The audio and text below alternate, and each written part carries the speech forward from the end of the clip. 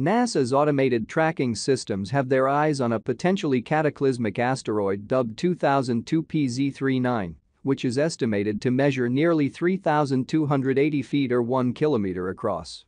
The colossal space rock is currently racing through space at speeds of more than 35,500 miles per hour.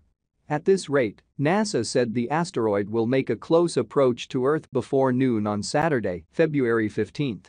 According to the space agency, any rock this big has the potential to kill untold millions upon impact. NASA said. If a rocky meteoroid larger than 25 meters but smaller than 1 kilometer were to hit Earth, it would likely cause local damage to the impact area. We believe anything larger than 1 to 2 kilometers could have worldwide effects. The destructive potential of such asteroids was also outlined in a 2018 White House report on so-called near-Earth objects or NEOs.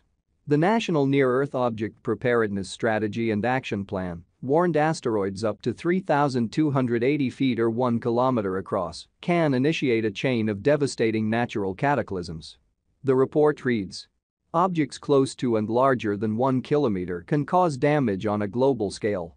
They can trigger earthquakes, tsunamis, and other secondary effects that extend far beyond the immediate impact area. An asteroid as large as 10 kilometers across is thought to have caused the extinction of the dinosaurs when it struck the Yucatan Peninsula some 65 million years ago. On February 15, asteroid 2002 PZ39 is expected to approach the planet around 11.05 am.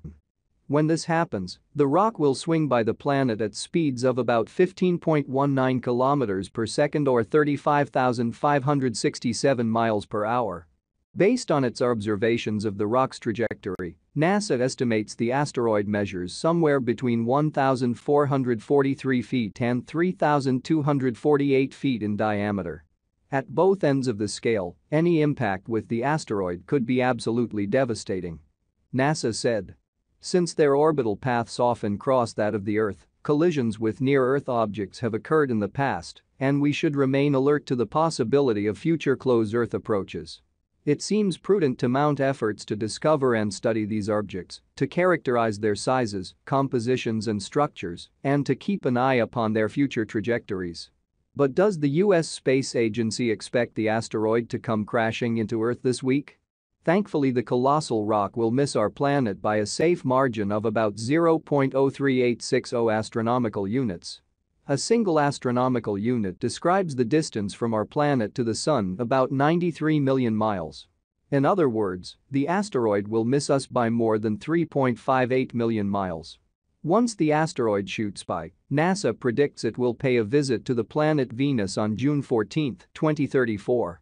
After that, on August 25 of the same year, the asteroid will make a close approach to Earth once again.